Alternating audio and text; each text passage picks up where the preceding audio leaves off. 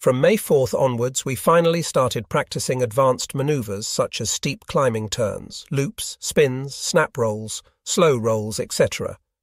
The airspace above the field was divided into quarters A, B, C, and D, and we performed these maneuvers within our assigned quarters at altitudes above 3,000 feet. However, for beginning pilots like us, these maneuvers were very unnerving. Seeing the ground above my head when inverted in a loop or spinning straight down towards the ground was completely disorienting. One day, about a month and a half into our flight training, the names of nine trainees who weren't making the grade were announced. Apparently, both their flying skills and their classwork were not up to snuff. That evening at mealtime, Instructor Tanaka gave us some more sobering news. Just because your names aren't on the list doesn't mean you're in the clear, he said, looking directly at each of us in turn. The difference between those nine and you guys was only five points. His message was unmistakable. If you guys want to make the cut, you would better take this training very seriously. We were shocked. None of us knew when or if we might be cut, our sense of security was shattered. However, I was determined to succeed at all costs, and vowed that starting the next day I would do my absolute best in the air and in the classroom. Once or twice a week, we were given written exams on various subjects. A score of less than 65 points was a failure. This reality weighed heavily on all of us. Most of those in the classes ahead of us passed their tests and went on to become pilots. If they could do it, so could I, I will show them what I can do, I told myself. Finally, we moved on to high altitude solo flight at an altitude of 9,000 feet. This was as high as the Type 3 trainer could fly, so we just climbed up to this altitude. Of course, the air was much thinner at this altitude, so there was less lift. We had to use full power just to maintain altitude. It was also much colder up there, so we had to keep an eye on our oil temperature. This first experience with high altitude flight was quite a challenge for us all. Even if it was a comfortable 21 degrees Celsius on the ground, it would be just above freezing at 9,000 feet. And of course, we had to constantly check our position over the field so as to stay within our assigned airspace. However, the reality was that at this altitude the field was often obscured by haze. This was just one more of the many challenges we first year students had to overcome. When the high altitude training was complete, it was time for our three month practical tests. Instructor Tanaka listed the items to be covered. Airwork maintains situational awareness at all times, monitors the instruments, steep turns are coordinated, uses rudder properly during descending turns, slips, uses proper left right corrections so as to descend towards the aiming point. Formation flight operates engine controls smoothly and appropriately maintains correct position relative to the lead plane, uses same bank angle as the lead plane when turning. Just before the test instructor Tanaka gave us some words of encouragement. Remember, don't tense up, just pretend you are on a regular training flight. Testing began on June 23rd. I passed the tasks on takeoffs and landings, formation flight and airwork. In fact, I thought I flew pretty well, but fate is a cruel mistress. During the morning flight tests, our instructor was Ishikawa. But while we were taking our written tests in the afternoon, he was killed in an accident. What happened was this the mechanics were changing an engine in one of the trainers to get it ready for the next day. After installing the new engine, one of the mechanics climbed into the rear seat and carried out a ground test. Lieutenant Ishikawa then got into the front seat to carry out a test flight. During the flight, near the town of Nakagawa, the plane clipped a high voltage power line and crashed. Both of them were killed.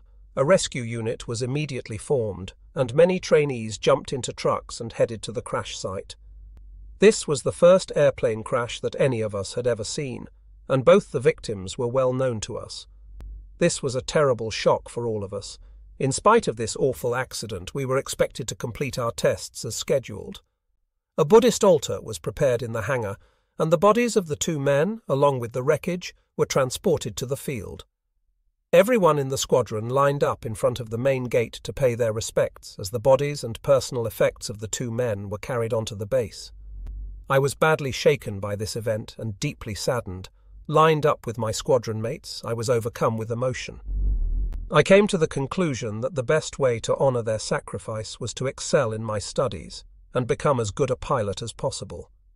Enlarged photographs of instructor Ishikawa and the mechanic were placed on the altar I couldn't help thinking that it was only a few short hours ago that we were happily flying together.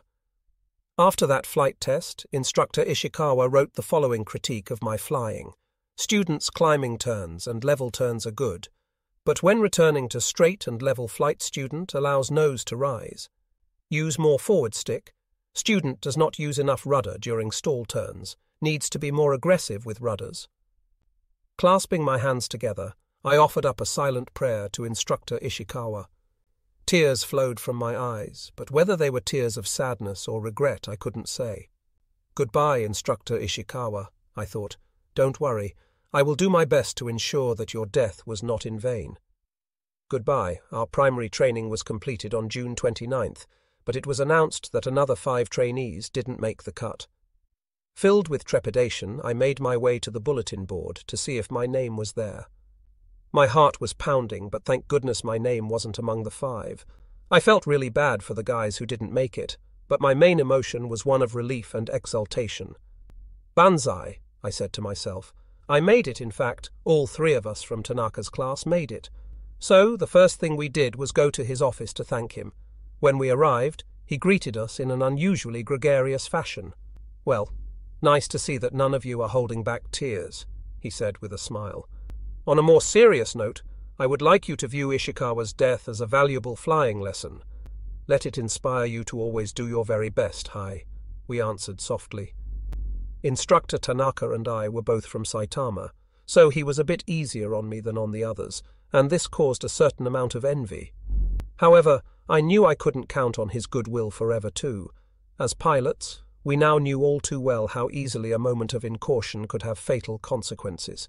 We accepted without regret the fact that we could die at any time and resolved to do our duty like men. The first blossom falls, our three months of primary training at an end. We again returned to our base at Kasumigaura. For the next three months, beginning in July, we trained in the Type 93 Intermediate Trainer. Then, on July 7th, the Marco Polo Bridge incident, 21 took place on the Chinese mainland. War with China suddenly seemed inevitable. From this day on, the Navy brass decided that no more trainees would be cut. The Air Command figured out pretty quickly that the hundreds of trainees they had cut over the past few years would have a very negative effect on our fighting strength. The prevailing dogma that only the very best will make it was quickly abandoned in the face of the coming conflict. However, this belated change of policy affected much more than we trainees. It would have profound consequences for Japan's future. As the war ground on to its catastrophic end, the lack of trained pilots would prove crippling. I was now assigned to a carrier attack unit, which had been my goal all along. I successfully completed one month's training in the Type 94 carrier bomber, and on November 30th, 1938, I graduated from the 38th pilot trainee class. I had now logged 166 hours and 25 minutes of flight time. Along with 10 of my fellow pilots, I was ordered to report to the Tateyama Naval Air Group. Training started the next day. At Tateyama, we were to undergo four months of specialized training as carrier bomber pilots. In spite of all the training we had already completed, until we had finished this special training, we would not be considered qualified pilots. Our training consisted of horizontal bombing, torpedo launching, instrument flying, night flying, and formation flying. We also switched to another airplane, the Type 84 carrier bomber. This was a real torpedo plane that could carry an actual torpedo and attack enemy ships. After only two training flights with senior pilots in this plane, we trained with our fellow classmates. As primary students, our instructors had told us just how to use the controls at all times. Now, however, we were expected to figure all this out for ourselves. Of course, when we didn't understand something, we could always ask the more experienced pilots, but without constant study and effort on our part, it was impossible to improve as pilots. Our instructors repeatedly told us if you want to become a good pilot, you must become accustomed to the airplane as quickly as possible. However, the real danger comes when you become overconfident. That usually happens at about 500 hours. That's when your chance of accidental death is greatest. We had this drummed into us. And as one of the youngest pilots, I decided that the best way to improve would be to simply take everything one step at a time. By December, full scale war had broken out with China. The fighting that had started near Shanghai was now moving deeper inland. Attacks by our Navy planes were becoming more intense every day. Shanghai was occupied by Japanese troops, and senior pilots from our group were being sent to frontline units there. Every time we saw a group of them take off, it only increased my desire to go also, but I knew that I still wasn't ready for combat. However, before long I had completed initial training in the Type 84 and moved on to instrument training. During the day it was easy to orient oneself by looking at the horizon, but at night or in clouds the pilot has to rely entirely on instruments – you cannot trust your senses and must give undivided attention to the turn and bank indicator, altimeter, airspeed indicator, rate of climb indicator, and heading indicator. I found this training to be highly stressful. Twice a day, 20 minutes at a time, we went up in all weather until we became proficient in this arcane art. For we knew that until we had mastered instrument flying, we couldn't call ourselves real pilots. Training for night flying began in the half light just after sunset and continued into full darkness. As our skills slowly evolved, we became accustomed to the night. When January 1st, 1938 rolled around, we were very disappointed to learn that our winter vacation had been cancelled due to the war. I had been looking forward to returning to my hometown and showing my mum and family the red dragonfly mark that now adorned the left sleeve of my uniform, the little badge that meant so much to me and that I had worked so hard to earn. But it was not to be, still we were able to celebrate on the base, and we all enjoyed a nice three-day break from our daily routine. It was around this time that some trainees who had just completed their reconnaissance training joined our group. We now began training as three-man crews consisting of a pilot, navigator, and radio man. Our training route consisted of legs flown between the airfields at Shimoda, Ishigashima, Oshima, and Choshi. While flying over these fields at 3,000 feet, we measured the wind speed and direction, correcting for wind drift so as to fly in a straight line between fields. Most of this work fell to the navigator. My job was to simply fly the course. During this time, the radio man would be contacting the various fields and exchanging coded information. Of course, it was my job to keep the airplane right side up and flying steady while all this was going on. One day, as we were over flying the lighthouse at Sotobo, my navigator gave me a heading of 250 degrees for Shimoda Harbour, so I obediently turned to that heading. At the same time, my observer was watching the whitecaps and calculating the wind drift and giving me wind corrections. Upon reaching our turn point at Shimoda, we set course for Oshima and performed the same processes to determine an accurate course. When overflying Oshima, we were prohibited from flying near the volcano, for it emitted a constant stream of gas and ash. In spite of my efforts to steer clear of the area as we flew by, I could feel the wind pushing us towards the caldera.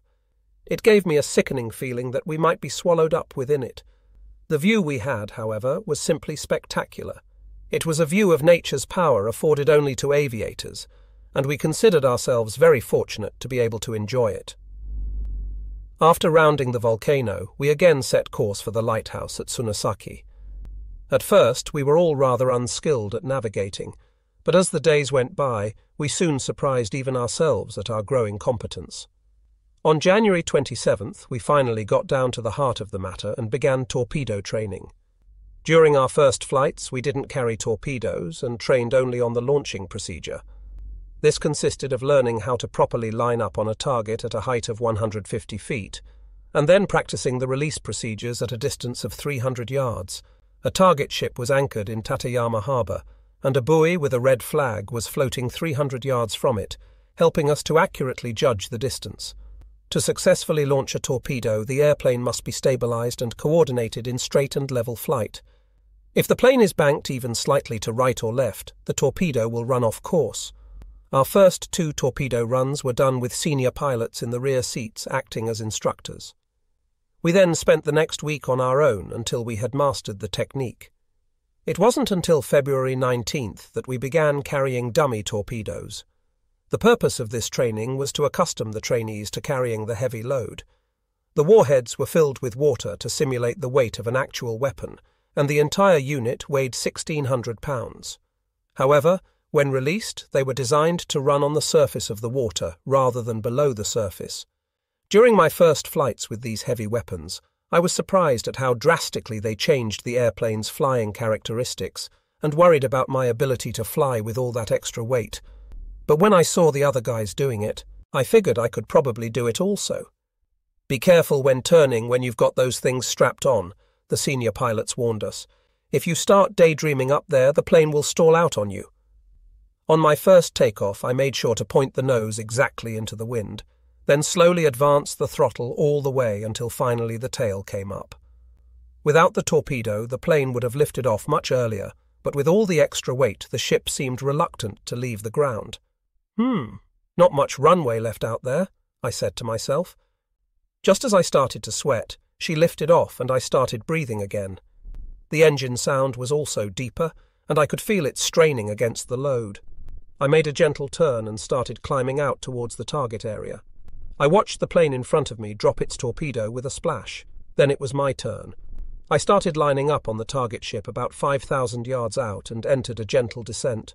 Before long, I was straight and level, only 150 feet above the surface, and closing fast on the float with its red flag that marked the release point.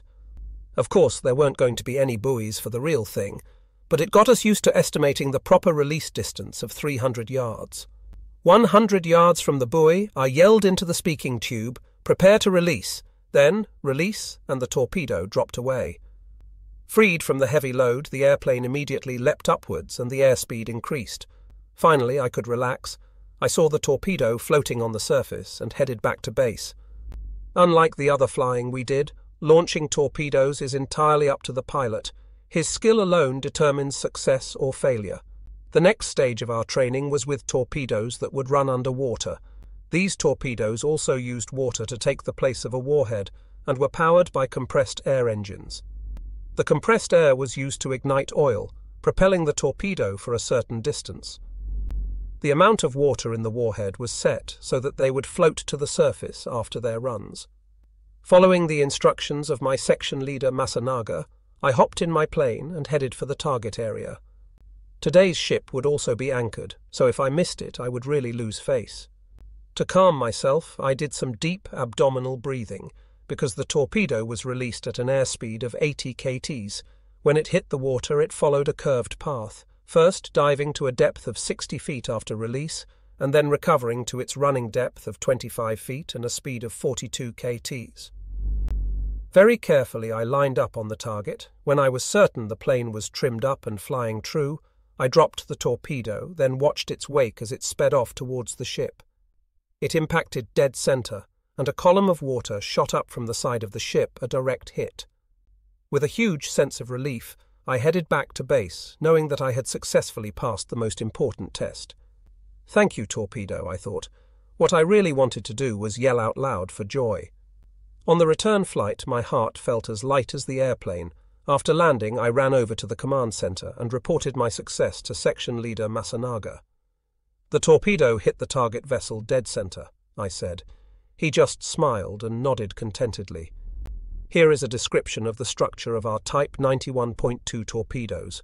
The warhead is filled with 700 pounds of explosive that is detonated by a detonator when the torpedo hits the ship. A safety device prevents the detonator from arming until after the torpedo has travelled a certain distance underwater. The air tank is filled with compressed air at 150 to 200 atmospheres, which is used to ignite the fuel oil which drives the propeller. In addition to tanks for air and fuel oil, a depth meter measures water pressure and automatically adjusts the running depth of the torpedo. The engine room includes a stop, start mechanism, and the engine. In the rear compartment are the propeller shaft, a tank for lubricating oil, fin adjusting mechanism, safety device, and the gearing for the propeller drive. Overall length 18 feet weight, 1700 pounds, diameter 17.7, speed 42 kts. On March 16th, our final training exercise was held. We were to make a long distance round trip flight to Kagamigahara Airfield in Shizuoka, a distance of 440 miles. Flight time would be about five hours. This flight marked the completion of our four months of advanced training. However, this flight, which should have been a cause for celebration, was marred by the disappearance of Airman Second Class Tsuju Tazaka and his crew on March 19th. The three had departed our field in good spirits, but the plane went missing between the Sunosaki lighthouse and Shimoda. The next group of planes flew the same route and returned, but the plane was still missing. Thinking they had made a forced landing somewhere, we contacted everyone we could think of, but no one had seen the plane. Did they ditch? In flight breakup? We were completely at a loss. Finally, three of our senior pilots took off in three aircraft to do a search over the coastline. The rest of us just sat around at the field, staring at the sky and praying for their safe delivery. We were all in something of a stupor, unable to work or talk, just counting the minutes. After an hour or so, the search planes returned to the field, having discovered nothing. The ground station informed us that they had lost radio contact with the plane shortly after its departure. Because a strong west wind blowing there were no fishing boats at sea that day. Still, if they had put it down on the water, something would be floating out there. Again, the search planes went out, only to return with no good news. Already we had lost our first classmate to the sky. Tazaka had done well in all his classes and was a skilled pilot. We couldn't imagine what might have happened to him. Perhaps he wasn't paying attention, or maybe he had done something stupid. Truly, we were in a constant life and death battle with the sky where even a moment of incaution could have fatal consequences. The death of our comrades was a huge reality check for us all. To ensure that their deaths would not be in vain, we resolved to polish our skills and to be ever vigilant in our flying. On March 29th and 30, we completed our final ground schooling and paperwork and became qualified torpedo pilots. After 14 long months of training, our first big step as pilots was now behind us. On April 28, 1938, I was assigned to the 12th Naval Air Group, then based near the Chinese capital of Nanking. Accompanying me was Warrant Officer 3rd Class Hiratsuka. Only the two of us were sent. Our squadron mates saw us off and we said our goodbyes to the Tateyama Air Group. Our first stop was Tokyo, where we changed trains for Shimonoseki.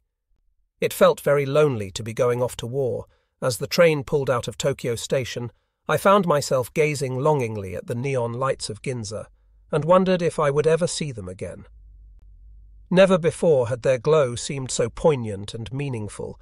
The trip to Shimonoseki took a number of days and because we were both acutely aware that we might never see these sights again, we made a point of getting off at every stop and buying souvenirs and sampling the local foods. When the train pulled in to Shizuoka Station in the middle of the night, we had rice with minced sea bream. At Hamamatsu Station, we ate broiled eel, and at Otsu, we had sailor's sushi. Everywhere we stopped, we made a point of eating and drinking our fill. When the train finally arrived at Sasebo, we were made provisional members of the Sasebo Naval Marine Squadron. One of the first people we met was Nishimoto, a former classmate from the Omura Air Group. It turned out the three of us would be going to China together. The first thing we did was look for ships leaving for Shanghai. Fortunately, there was freighter leaving that day at noon, so we got on board and a few hours later were passing through Genkainada bound for China. However, it wasn't until we arrived in Shanghai that I began to realize that I was, in fact, in a war zone. We arranged passage on another freighter headed up the Yangtze River to Nanking, and once again were on our way. Incredibly, it took the ship an entire week to make the trip to Nanking. I couldn't believe it. In my airplane, I could have made it in only three hours. It occurred to me that even in a war zone, some places were still pretty relaxed. Finally, on May 5th, we tied up at the wharf at Nanking. We had no sooner stepped off the ship than a Navy truck arrived, which took us across the city to Daikoiki Airfield, where we were formally inducted into the 12th Naval Air Group. The group consisted of 18 carrier fighters and 18 carrier bombers. Our mission was to support the combined Army and Navy advance up the Yellow River. The leader of my section was First Lieutenant A.G. Murata, like most of the other pilots, he came from the Tateyama Air Group, so we all knew each other. This put my mind at ease and made me feel very much at home. When I went to the command center to check in, I discovered that the other section leader was none other than First Lieutenant Tetsuo Kobayashi, my former section leader when I was a trainee. As soon as he saw us, he laughed and said, You three are the newest pilots here, so you have got to do our work too. This group was using the Type 96 carrier bomber so our first day was devoted to training. After that, we went out on patrol flights. This consisted of flying 60 miles south of our base at Nanking and patrolling the area between Sanshan and Wanshi at an altitude of 15,000 feet for two hours at a time. If enemy planes launched an attack on our base at Nanking, we would radio a warning so we could wipe it out. The problem was we never knew if or when they would attack, so these patrols were quite stressful. Still, for new guys like us, it was our first chance to see China, and we enjoyed the spectacular views from our aerial vantage point. During our first few patrols, we were in a state of constant wonderment at the unusual scenery spread out before us. Unconsciously, I found myself singing the Song of the Mounted Bandit about a highwayman from Japan who spent a life of solitude roaming across Manchuria. When I left my homeland, my skin was smooth as jade. Now it is scarred by bullet and knife. Only then did I begin to comprehend how big China really was. Looking down upon this vastness, the sentiment expressed by the line, Cramped Japan is no place for me, was easy to understand. Even from this lofty perch, the endless plains seemed to stretch off to infinity. For 5,000 years, the yellow waters of the Yangtze had carved their way across these lands on their relentless journey to the sea. The waters of the bay reach the heavens as they flow 10,000 miles to the sea. Looking down, I could see that the road below us had ditches cut across it every 20 metres or so, an effort by the enemy to slow the progress of our troops. On the hills overlooking the road, the many bunkers built by the Chinese army gave mute testimony to the ferocity of their resistance. Gazing down upon the world like this induced a strange sense of detachment. The war and its consequences seemed so far away that I often wondered where or even if it was actually taking place. In this trance like state, I was always surprised at how quickly the time passed. Before long, my replacement would show up, rock his wings, the spell would be broken and I would begin a gentle descent towards our home field. For many days this was all I did. It was a very peaceful interlude that couldn't last. When the Joshu offensive began, the mood changed abruptly. Our base suddenly became very busy when a group of carrier planes joined us at our main base at Nanking. Shortly thereafter, a tragic case of friendly fire occurred when planes from this group mistakenly bombed our own troops, causing many casualties. The Chinese army was putting up very stiff resistance, and our troops were fighting desperately to break through their lines. They radioed for air support, and the recently arrived carrier planes sorted to assist them. When the flight leader arrived over the front, he saw a highway crammed with troops and vehicles. Before thoroughly scouting the battlefield to determine where the friendlies were, he immediately ordered his group to attack. What he didn't realize was that these were advancing Japanese troops who had finally broken through the Chinese lines. Even a casual observation would have revealed that these were our troops. When the troops first saw the rising sun symbols on the 18 planes, they broke out in cheers and waved to them. Then the bombs started raining down. Many were killed and wounded. This tragedy was a worst case example of what happens when a flight leader makes a hasty decision. There was also inadequate communication with the commanders on the ground. Though I was never privy to the details of this incident, shortly after it occurred all the carrier planes returned to their ship, and our base returned to its usual peacefulness. In the end, in spite of this blunder, our troops eventually occupied Joshu and the Chinese army retreated further southward. Shortly thereafter, an order arrived from on high for us in the 12th Air Group to attack the retreating Chinese troops, I went over to the blackboard at the command center, and sure enough, there was my name right at the top.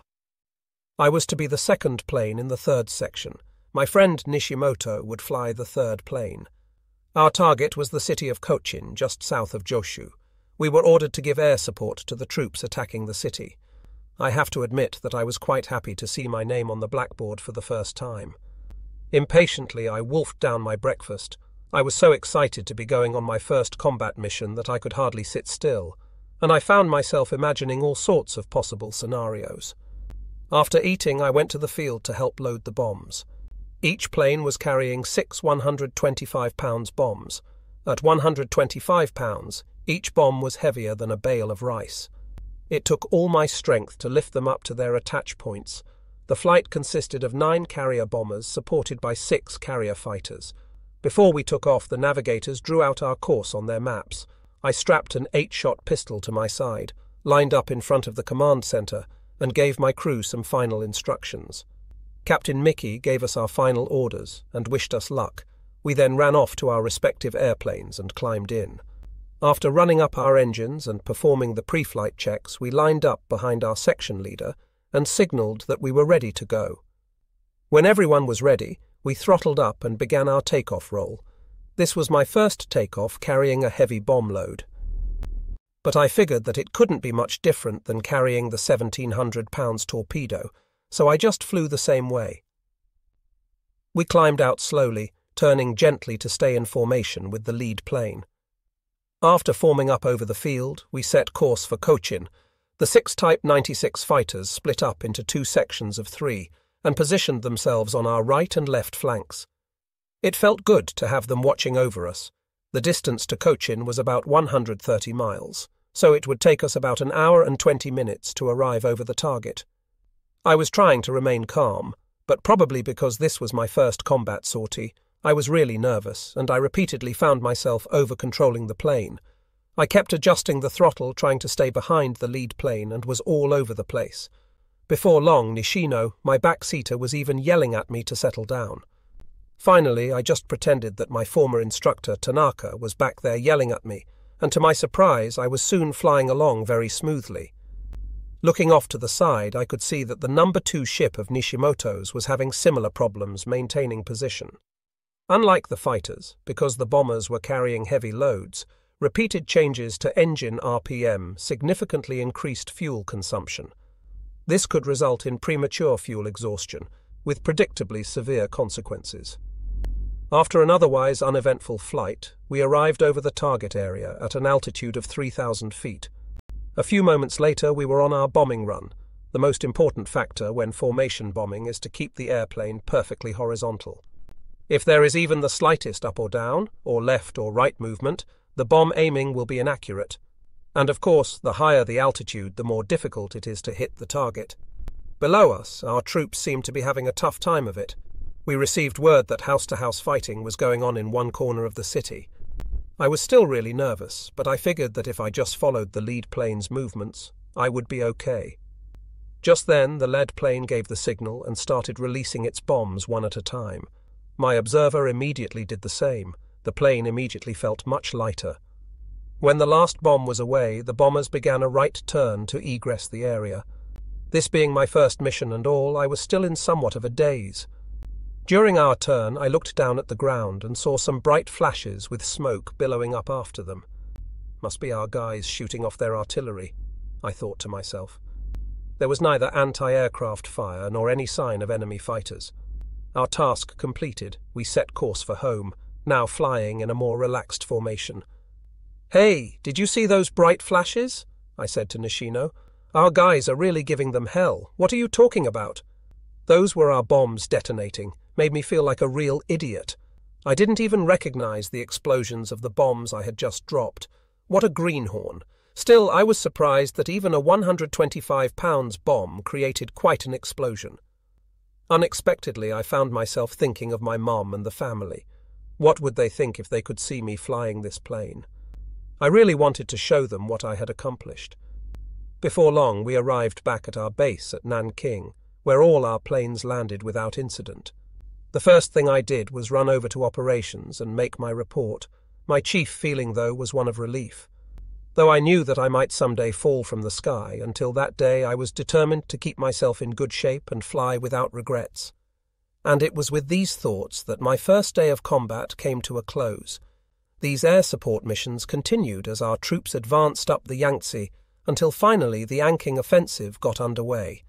About ten miles up the Yangtze from Anqing, the Chinese had sunk six ships in an attempt to block the progress of our forces.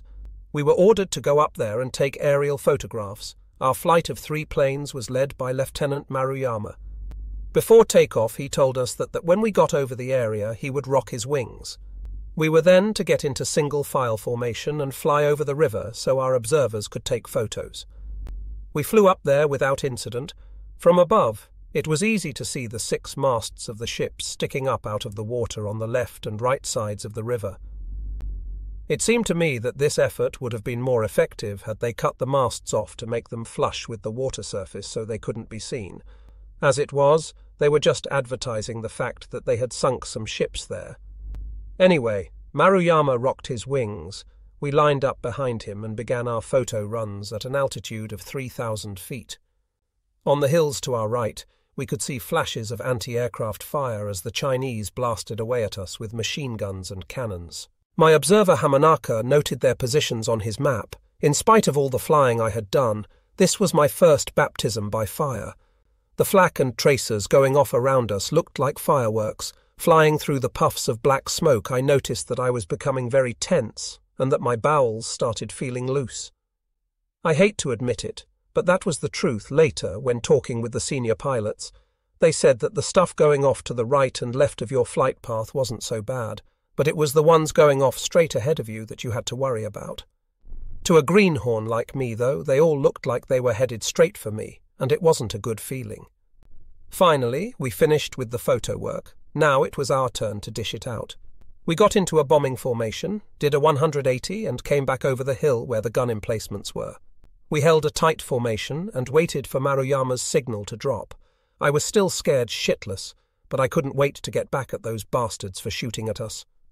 On Maruyama's signal, we all released simultaneously and the bombs rained down, silencing the guns. As we cruised back down the Yangtze in loose formation at an altitude of 1500 feet, I felt a huge sense of relief at having completed our task successfully. A few weeks later, Anqing was occupied by our troops, and the 12th Squadron moved to a field on the outskirts of the city.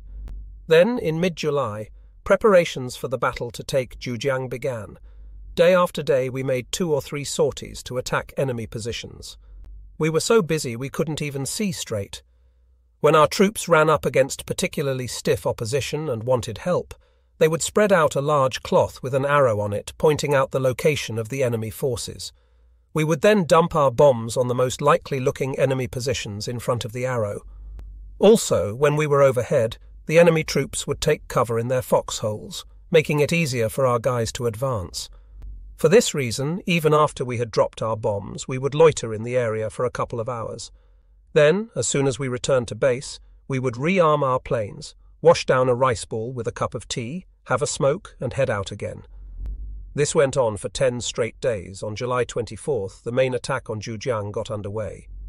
The Chinese fought doggedly, but were eventually forced to retreat into the mountains of Lushan in the face of our intense air attacks and naval bombardment from our ships on the Yangtze. By that afternoon, the Japanese flag was proudly flying at the center of the city. However, the price for our victory was very high.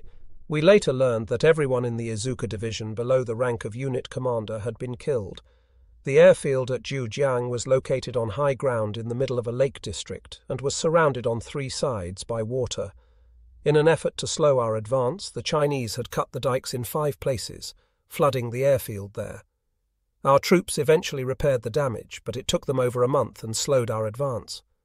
On August 12th, a big air raid was carried out against Hankow. To assist in the attack, 27 medium bombers came in from the Takaoka Naval Air Base on Taiwan. Counting fighters and light bombers, more than 100 planes took part in the attack. We took off from Anqing and climbed out on course to an altitude of 15,000 feet, at which point we could look down on Wusan Sanqing. I was expecting plenty of resistance from enemy fighters and was looking forward to seeing our fighters knock them down. Of course, I had yet to even see an enemy airplane in the air, so I really had no idea what such an air battle would be like. I just thought it would be fun to watch. Our target for the day was the railroad marshalling yard at Wuchang, on the outskirts of Wuhan. The purpose was to cut the enemy's supply lines. It sounds funny, but it was like one of those early autumn days in Japan, with not a cloud in the sky, a perfect day for bombing. On the signal from flight leader Murata, the nine plans in our formation released their bombs simultaneously. Bright flashes marked the spots where the 54 bombs impacted the target, followed by enormous plumes of smoke and dirt. For some reason, there was no anti aircraft fire at all. Maybe because there are enemy fighters nearby, I thought. But I looked all around and couldn't see any. I was actually a bit disappointed because I was hoping to at least see some. As we turned out over the Yangtze and set course for home, the anti aircraft fire finally came up to greet us. Looking down, I could see the muzzle flashes from the guns. There seemed to be five or six gun emplacements down there. If I'd only had some bombs left, I could have returned their friendly greeting in Kind. Their shells were going off all around us, but for some reason, I wasn't the least bit afraid. All our planes returned safely to Anqing. In early September, our unit transitioned from the Type 96 carrier attack bomber to the Type 97 carrier attack bomber. In order to get checked out in the new planes, we all returned to Peking for a week. The planes looked absolutely stunning, featuring modern lines and retractable landing gear. The Type 97 was the latest offering from the Nakajima Airplane Company. We were thrilled to be getting such a hot ship the Type 97 was a three seater, pilot, observer, radio man powered by a Sakae 11 radial engine producing 1,000 horsepower. Cruise speed was 130 kts and top speed was 204 kts at 11,000 feet. Range was 1,075 miles, fuel capacity 260 gallons, and it carried a bomb load of six 125 pound bombs and two 250 pound bombs, one 1,600 pounds bomb, or one torpedo. After arriving in Peking, we spent two days in ground school, followed by three days of flight training. This was the Navy's only carrier based attack plane with retractable landing gear, and we were all excited to be one of the first frontline units to get it. Training over, we returned to our base at Anqing, looking forward to getting into action in our new ships. We didn't have long to wait. On September 10th, we were ordered to attack Chinese positions about 20 miles up the Zhujiang River. The nine planes of our unit were loaded up with six 125 pounds bombs each, and we took off looking for a fight. Compared with the Type 96, which was a biplane with a cruising speed of 80 knots, the Type 97 was a monoplane that cruised at 130 knots. That 50 knot difference meant that we were over our target area after only 30 minutes. Looking down, I could see our destroyers and minesweepers clearing the harbour on the Yangtze. I felt sorry for all those sailors jammed like sardines in those tin cans, while here we were flying around free as the birds. I wished them well. The Yangtze was very narrow at this point. The Chinese were dug in on the hilly terrain on the river's banks and were holding up our troops. The area around their positions was interlaced with trenches. For about 20 minutes, we circled overhead, observing their positions. Then we dove to attack. We were only seconds from bombs away when my plane's engine threw out a big puff of white smoke and stopped running, leaving the propeller to windmill ineffectively. Crap. This was not good. Fortunately, we were still at about 3,000 feet, so I lowered the nose to keep us from stalling. The first thing I did was check the fuel cock. No trouble there. That could only mean an engine failure, which meant that a crash landing was our only option. Unfortunately, we were over enemy territory, so the only thing I could think of was to crash, dive the plane into an enemy position. So, this is the end for me, I muttered to myself. By this time we had fallen far behind the other planes. Fortunately, our bombs were still with us so we could do a lot of damage when we hit. My observer was my good buddy from flight school, Matsumoto. Hey, Matsumoto, I yelled casually into the voice tube. The engine blew, so I'm going to crash us into the bad guys. His reply was surprisingly unemotional. That's okay with me. Do it, damn. He's really got some balls, I thought. Or maybe he's just putting on a good face. Either way, he's all right. The other planes were now making their runs, and there was no point in trying to signal them. They had enough to worry about. As if all this wasn't enough, our radio was also out. Saito, my radio man, just kept signalling no good, no good. The altimeter was rapidly unwinding, and before long we were down to 1,200 feet. I took one fond last look at the sky. The rest of the group had completed their bombing runs and were climbing out to the right and heading home. I was holding the stick in my right hand and looking for a good place to crash into. When we reached 900 feet, I spotted an anti aircraft emplacement and figured that would be as good a place as any to end it all. Leaning back towards Matsumoto, I yelled out, Sayonara, everyone. But through it all, my left hand had been unconsciously operating the manual fuel pump. We had been trained to use the manual pump when switching tanks to prevent the fuel pressure from dropping. So, without really thinking about it, I had been pumping away on it absent mindedly. Suddenly, the engine threw out a puff of smoke, sputtered to life, and then stopped again. I kept pumping, and it started up again. Hey, Matsumoto, I got the engine running. Dump those bombs. You got it. With the bombs gone, the plane could just maintain level flight. Far off to the right, I could see our destroyers in the Yangtze River. If we could only make it that far, just then the enemy opened up on us, and tracers began flying past on both sides. Shit, now we're going to get shot down. Looks like the three of us are just not meant to make it out of this one. We managed to avoid getting hit, but the engine was barely running. It would run for a minute or so, then stop. Smoke and oil were pouring out of it. I kept pumping away. We couldn't gain any altitude, but we were flying. It had only been about two minutes since the engine first died, but it seemed like forever. Finally, we made it over our ships, and I figured I had put us down in the water next to them. We would lose the plane, but at least our lives would be saved. Still, I wasn't too thrilled about ditching, and so decided to try for home. If the crate would stay in the air for another five minutes, we could probably make it. Matsumoto, I am going to try and make it back to base. You're driving, said Matsumoto in full Kansai dialect. I had to laugh at how cool he was under fire. I told Saito to try and get through, but the radio was still on the fritz. Everyone was probably starting to worry about us by now. We continued sputtering along, slowly losing altitude. Just when we got to 150 feet, an army airfield appeared below us, and I headed straight in for a landing and set her down. I had just pulled off the runway when the engine quit for good. Silence. With the release intention, I was overcome with exhaustion. Leaning forward onto the instrument panel, I closed my eyes and tried to regain my composure. A car drove out to pick us up and take us to the operations centre. The command post was a local home with a dirt floor and only a desk for furniture. A grey haired army major came over to the three of us, laughed, and said, What happened? Have a bit of engine trouble. He was such an easy-going guy that I felt like I was talking with an old friend. Can you contact our base for us? Our timing is perfect, said the major. We have got a transport plane leaving for Peking in a few minutes. He will fly over your field and drop a message canister. We wrote up a note telling of our predicament and asked them to send a mechanic to fix the engine. The transport took off for Peking a few minutes later. We figured someone would be coming for us soon, so we lounged around on the grass, smoked cigarettes, and talked about our narrow escape.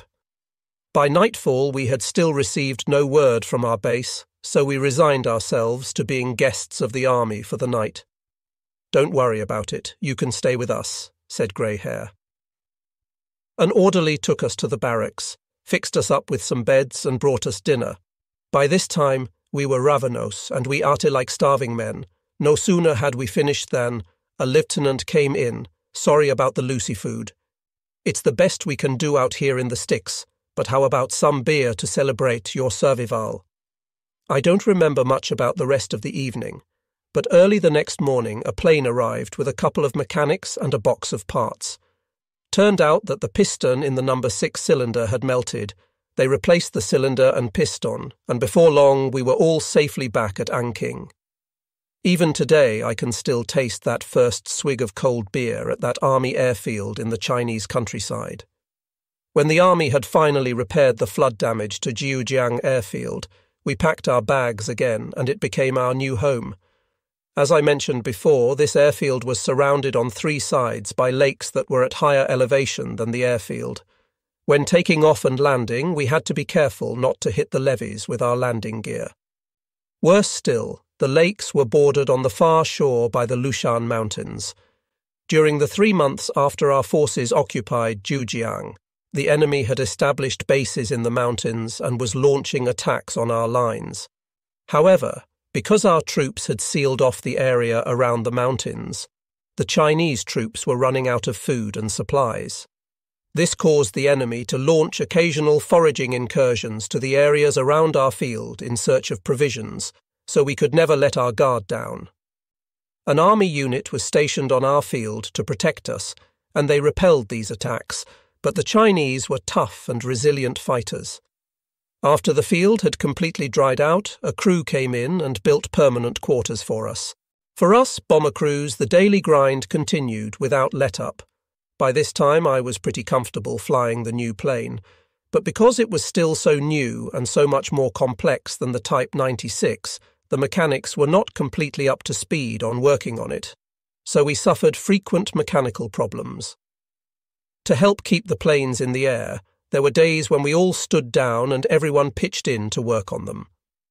It was around this time, during the Nanchang offensive, that we received word that a supply convoy carrying food and ammunition to our troops was surrounded by a large enemy force and annihilated. The troops for whom the supplies were destined were then cut off and isolated. Their location was only 60 miles from our base at Jiujiang, so we were ordered to give them air support. We had to fly three missions a day, but because we were out in the sticks, we had no central ammo dump. This meant that all the bombs were stacked up in the grass at various places around the field. So as soon as we returned from one mission, we had to immediately run around the field, pick up the 54 125 pounds bombs for the next mission, carry them to the planes, and get ready to head out again. Talk about hard labour. This was a job for sumo wrestlers, not pilots. To make matters worse, the grass around the field was infested with snakes. Every time we picked up a bomb, two or three snakes would slither out from underneath it. At first, this scared the hell out of us, but it wasn't long before some of the more enterprising among us killed a bunch of them. They put them on skewers, and that evening we had a big snake roast. They tasted great with a little soy sauce. After two days of air support, the cut-off forward unit was finally reached by our troops, and we returned to our usual bombing missions along the Yangtze. On October 29th, our forces occupied Hankow, and on November 6th, the 12th Air Group relocated to Hankow Airfield. However, when we arrived, we were puzzled to see small red flags sticking up from the ground at various locations around the runway. When we asked the base security guys about this, they told us the flags indicated the locations of minefields, and for us to stay away from them. It turned out that the warning flags had been planted by the Chinese, but that our troops had advanced so quickly they didn't have time to remove them. We were all very thankful that we hadn't discovered the mines on our own. We were quartered in some sort of former research facility near Hankou. We never figured out exactly what sort of research went on there, but the rooms were separated by steel grating, with five or six of us sleeping in each room, we often felt that we'd been thrown in prison for crimes we hadn't committed. It was not a pleasant place. Not that our minor privations were of any consequence in the grand scheme of things. Since the Marco Polo Bridge incident, our forces had taken Shanghai, moved rapidly up the Yangtze River, and now occupied Hankou. After this rapid advancement, I expected our troops to take a break, so I was astonished to learn that they were continuing their push into China's interior. I really thought our generals had lost their minds. But of course, no one was interested in the opinions of a lowly pilot. Like everyone else, my duty was simply to follow orders. Still, China was such a vast country that I couldn't help wondering how far we would have to advance before our generals would be satisfied. I really thought they had lost their minds. Meanwhile, our bombing missions against enemy positions along the Yangtze continued as usual. Before long, the plans of our generals became clear.